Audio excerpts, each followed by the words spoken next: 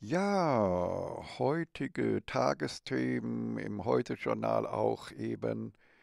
Die meisten Experten, Reformer sind Lieferanten von vorteilbringenden Irrtümern von Sparten. Also bitte, liebe Parteien, wir 2020, die Basis, seien Sie auf der Hut davor vor den Experten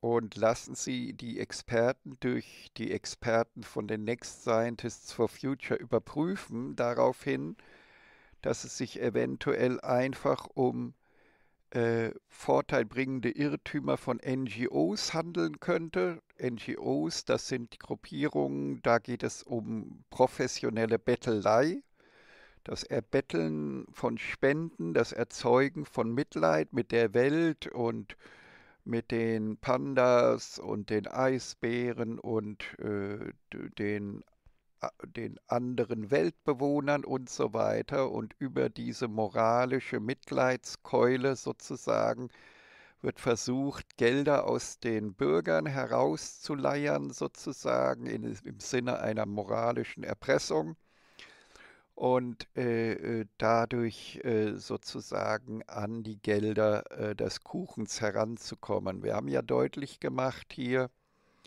ich zeige es Ihnen mal gerade schnell, wir haben ja deutlich gemacht, dass es darum geht hier, das ist der gesamte große Kuchen, ja, um den es ge geht und die verschiedenen Sparten, wie zum Beispiel die NGOs, die Sozialsparten, die Pharma, Impf und Test- und äh, Maskensparte und so weiter. Also alle Sparten versuchen oder haben die biologische Tendenz, die unbewusste, äh, nicht bewusste biologische Tendenz, möglichst viel aus dem Kuchen herauszuschlagen und dadurch schädigen sich auch alle Sparten gegenseitig, denn die die zum Beispiel die Pharma-, Impf- und Testsparte versucht natürlich auch aus der Sozial den, den Mitgliedern der Sozialsparte so viel wie möglich Geld rauszuholen.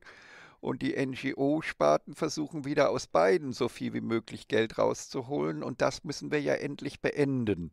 Also sozusagen dieses, dieses Spartensystem. Äh, dass jede Sparte quasi den Rest der Gesellschaft schädigt und besonders die Personen, die keiner Sparte angehören, die wären jetzt hier in der Mitte sozusagen, die werden quasi nur geschädigt von allen Sparten.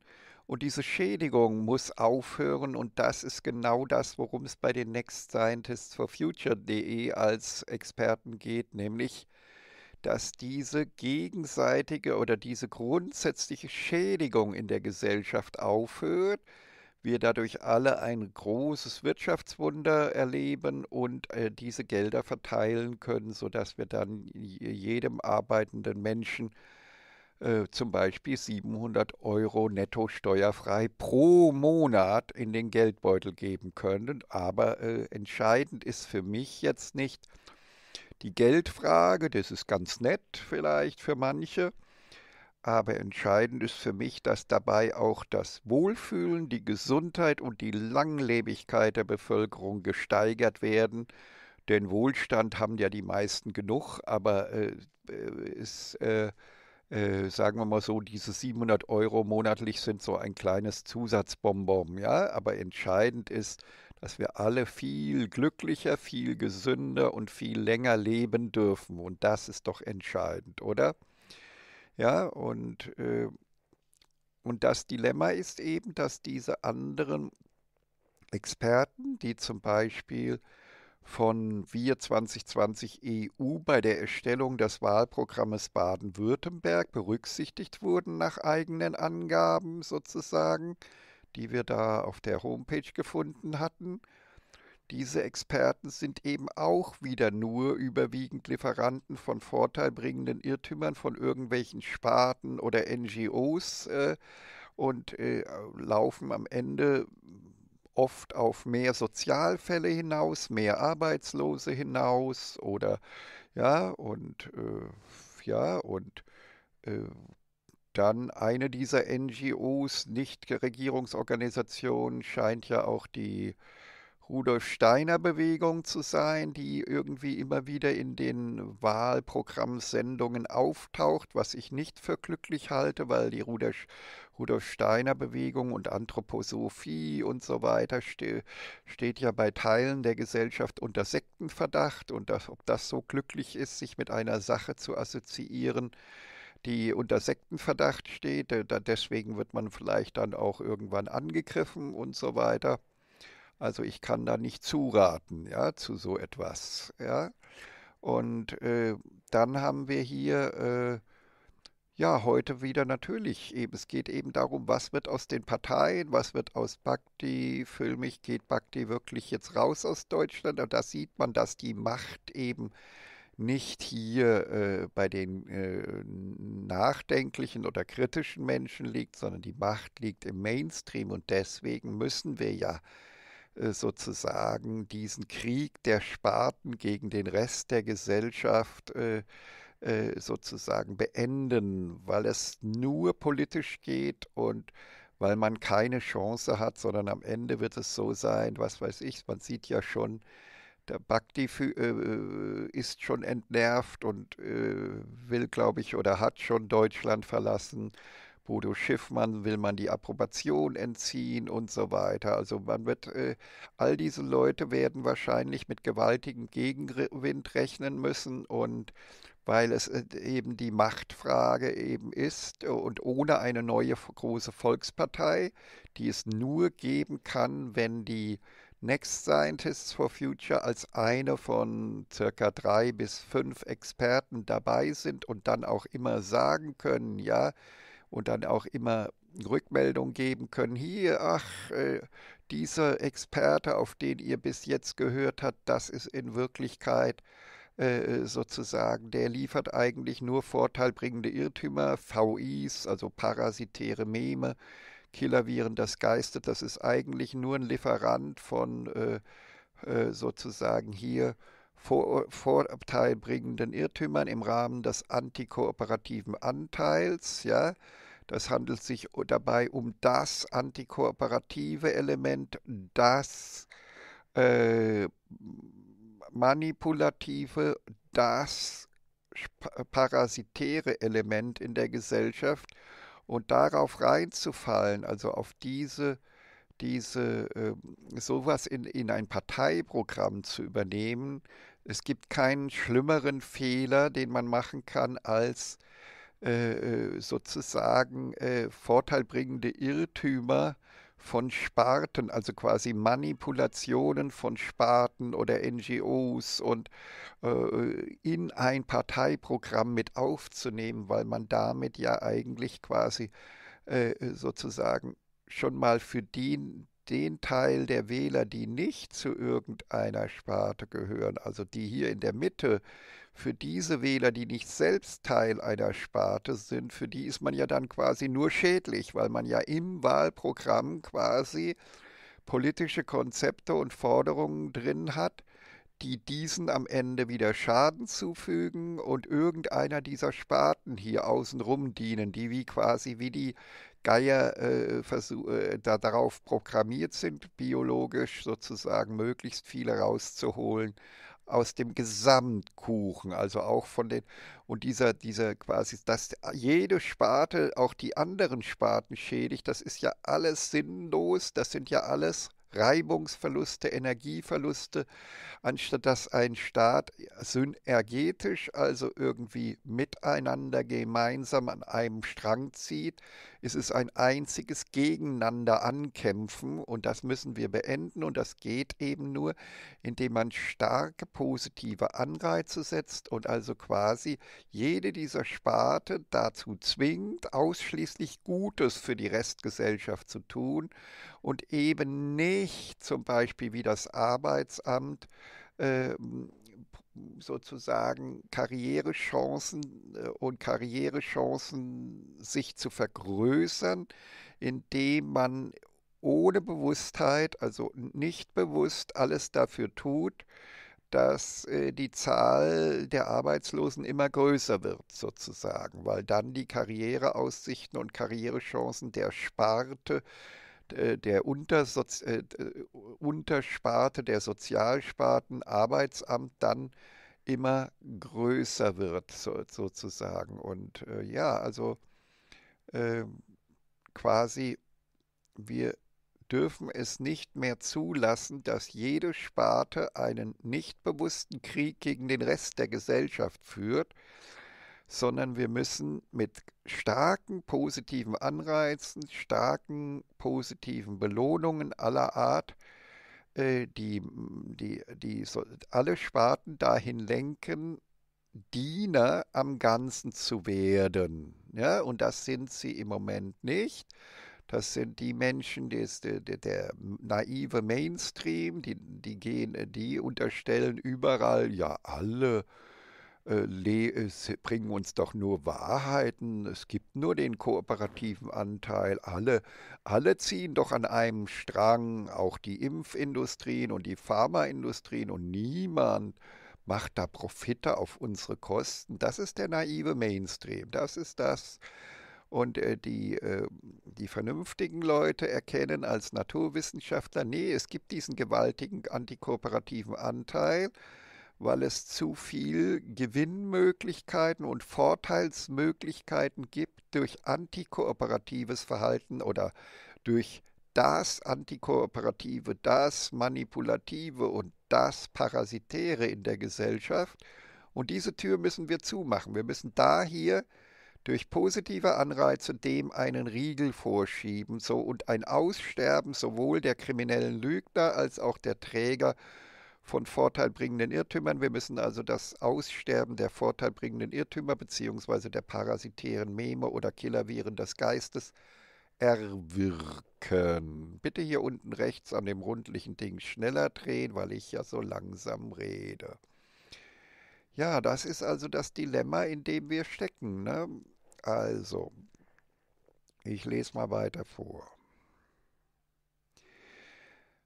Bei den Arbeitsamtmitarbeitern ist zu beachten bei der Setzung der richtigen positiven Anreize, dass wir die Verdienstzuschüsse abhängig machen von der Erhaltung der bisherigen Arbeitsplätze, damit eben nicht die Gefahr in ihrem Bezirk, also die Mitarbeiter des Arbeitsamts dürfen nicht äh, profitieren können, indem sie an einem Teil ihres Bezirkes neue Arbeitslose schaffen, sozusagen, indem sie Unternehmen schädigen oder so, sondern es muss so sein, dass die Arbeitsamtmitarbeiter auch gleichzeitig die sind, die sich rührend um die Situation der Unternehmen kümmern und so äh, vielleicht sogar manchmal ein bisschen aus ihren eigenen Etats heraus, die Mitarbeiter des Arbeitsamts, jeder hat ja dann einen eigenen kleinen Etat, mit dem er auch eingreifen kann und auch manchmal Situationen retten kann.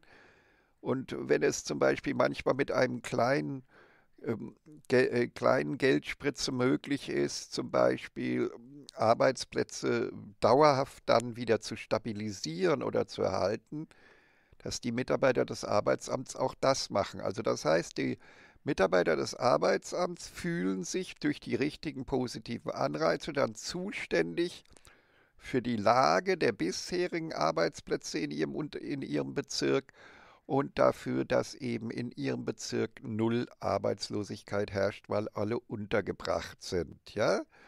Und dafür werden dann die Arbeitsamtmitarbeiter plädieren für die Abschaffung von Mindestlöhnen, äh, Tariflöhnen und Gewerkschaften, damit auch jeder, der eine geringere Leistungsfähigkeit hat, auch unterkommen kann, sozusagen damit nicht quasi alle, die unterhalb Mindestlohn liegen, gar keine Arbeit mehr finden, sozusagen, oder in, äh, Unternehmen mit Tarifvertrag quasi gar keine Arbeit finden können, wenn sie weniger Leistung bringen, als, der, als die Tariflöhne vorgeben. Ja?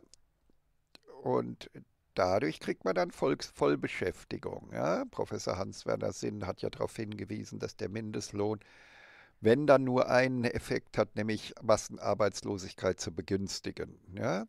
Das, was natürlich dann im alten System wieder gut war für die Arbeitsamtmitarbeiter, aber in dem neuen System der Next Scientists for Future wäre das dann eben schlecht. Also würden die Mitarbeiter des Arbeitsamts plötzlich sagen, liebe Politik, wir müssen sofort Mindestlöhne, äh, Tariflöhne und Gewerkschaften einsparen. Wir müssen uns diesen, diesen Kostenfaktor einsparen, weil der äh, vergrößert die Arbeitslosigkeit. Und wir wollen ja jetzt, wir kriegen ja nur noch Belohnung für Nullarbeitslosigkeit. Ne?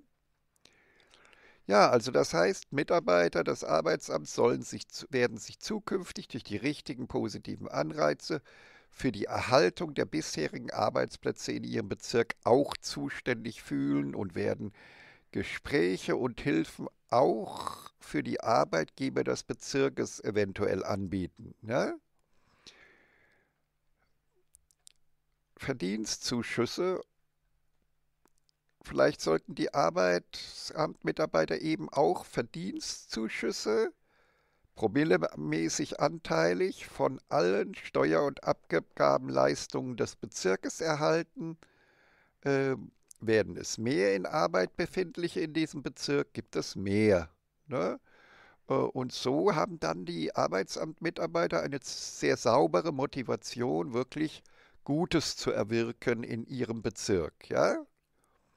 Und für jeden Arbeitslosen sollte man vielleicht Abzüge bei den äh, Verdienstzuschüssen sollte es geben in Höhe eines überdurchschnittlichen Verdienstzuschusses äh, für einen Arbeitenden. Ja, vielleicht macht man die Rechnung also anders. Sie merken es, wir haben jetzt also quasi ein, hätten jetzt ein neues, äh, eine äh, eine überarbeitete Variante äh, der positiven Anreizsetzung für Arbeitsamtmitarbeiter als Teil der Sozialsparten, nämlich dass eben die äh, äh, Arbeitsamtmitarbeiter quasi für jeden, der in Arbeit findet, sich befindet, bestimmte Verdienstzuschüsse bekommen, in, in irgendwelchem Promillebereich, ja. Und das ist dann ihr Haupteinkommen.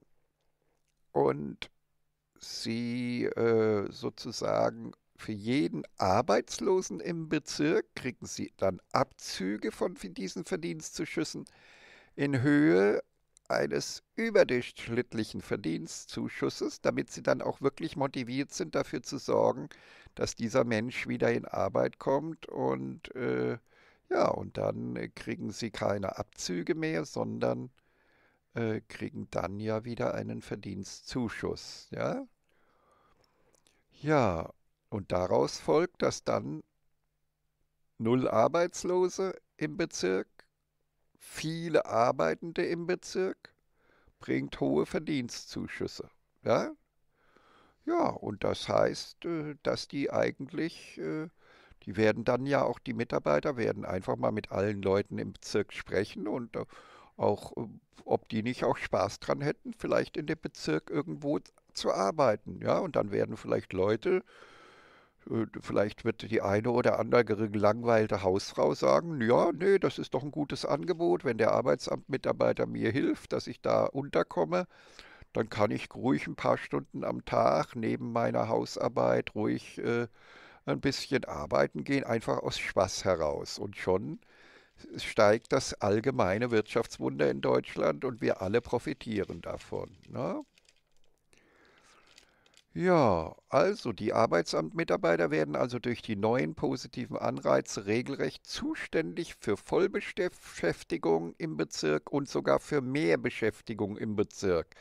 Werden also vielleicht auch äh, Leuten, die so noch am Überlegen sind, ob sie sich den Stress anziehen äh, wollen, äh, noch äh, ein bisschen arbeiten zu gehen. Denen machen sie es ganz leicht und dann helfen die mit und schon, schon haben wir mehr Arbeitende im Bezirk und das ist für uns alle ja gut, wenn alle ein bisschen mit, mitarbeiten und mitziehen. Ja, das war's schon wieder für diese wissenschaftliche Tagesschau heute. Jetzt zeige ich Ihnen noch hier. Jetzt würde ich diese Präsentation, ach so, also erstmal so macht man das, dass man die Präsentation teilt und dann sieht man eben hier überall diese Präsentation oder hier und man blendet das hier aus. Und jetzt wäre dann die Präsentation auch an die anderen Teilnehmer gegangen. Sie können sich jederzeit telefonisch bewerben für die Talkshows, dass sie teilnehmen können. Ja, und dann haben wir hier, äh, ich glaube, es ist jetzt richtig deutlich geworden. Vorsicht also, die meisten Experten oder Reformer, die sich, also zum Beispiel die Economy for Mankind hatte sich ja wir 2020.de auch angeboten sozusagen und hat ja da auch viele Sendungen gemacht und war in den Talkshows dabei.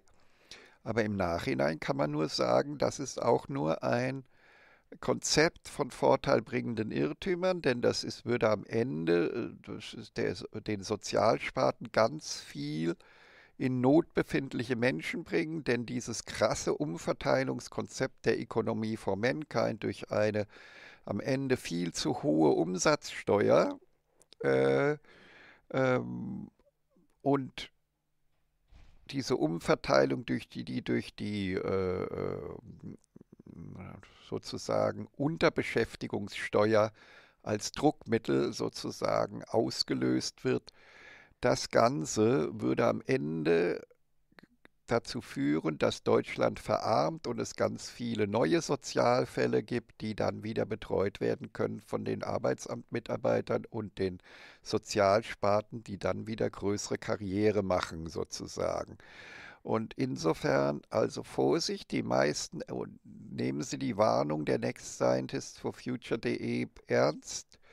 Ähm, mit einem Wahlprogramm voll von vorteilbringenden Irrtümern von NGOs oder anderen Sparten wie Sozialspartlern oder Arbeitsamtmitarbeitern oder Medizinspartlern, die am liebsten leistungslose Einkommen beziehen möchten und so weiter oder auch Lehrern, die weiterhin leistungslose Einkommen beziehen möchten oder Pädagogen und so weiter. Hören Sie nicht auf solche Ratgeber, das sind irreführende Ratgeber, das sind, die liefern Ihnen eigentlich nur vorteilbringende Irrtümer von bestimmten Sparten, anstatt kompetente Reformen zu bringen, die allen nutzen, die uns allen positive Ergebnisse bringen. Ja, ja und dann geht man aus der Präsentation wieder so raus. Also ich würde jetzt hier die Präsentation starten. Äh, beenden. Jetzt würden Sie wieder hier fünf Leute sehen, also äh, oder vier, drei, vier, fünf Leute in Bildern sehen sozusagen und ja, und äh, ja, und jetzt verabschiede ich mich wieder. Tschüssi, das war unsere heutige kurze wissenschaftliche Tagesschau heute zu diesem hochwichtigen Thema. Tschüssi, bis bald.